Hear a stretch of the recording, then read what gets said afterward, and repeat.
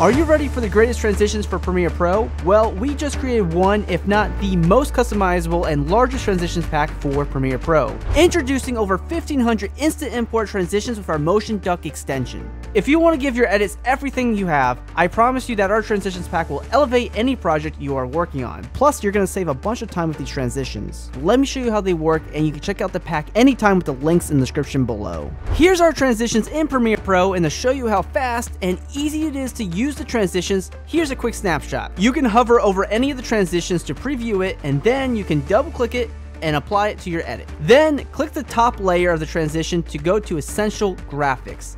Click on Edit and drag and drop the sequence of the transition to replace media. Now, your transition will play on top of your footage and that looks great. Let's dive a little bit deeper into transitions as we have a lot of great features here. There are 11 main categories of transitions, all of which you can preview by hovering over the images.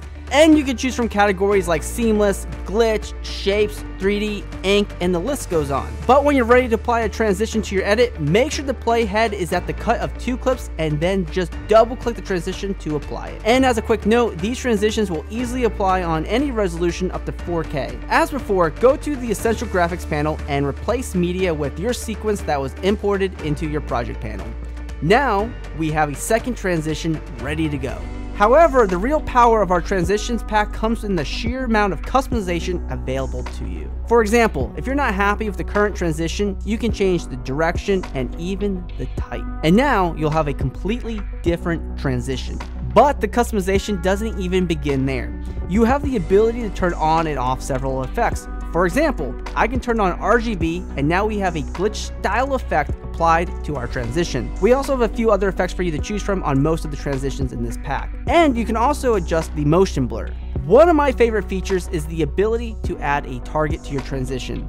Just set the direction of the transition to target, and you'll see that our transition now has this cool line animation applied to it. By opening the target settings, I can reposition the center of our target, and of course I can change the color and pretty much anything else that I want. So now you can highlight what's important in your shot during the transition. Up to this point, we've only applied two transitions, but I'll quickly go ahead and apply transitions to the rest of my edit to showcase the depth of transitions available to you. So now we have a beautiful edit filled with transitions. And if you haven't noticed yet, just about every transition comes with a sound effect that is automatically imported. This will help you boost engagement on your videos without effort.